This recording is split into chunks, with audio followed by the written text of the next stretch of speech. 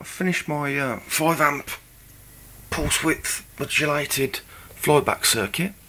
I'm pretty happy with the results. I don't know how well this will show up on camera, but if I switch it on there,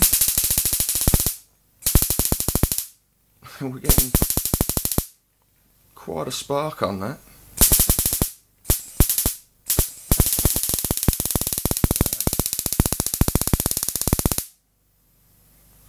And uh, it's pretty instantaneous as soon as we switch it on.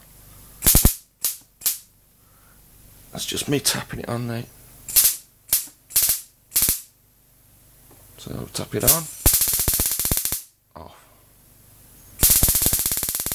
And off.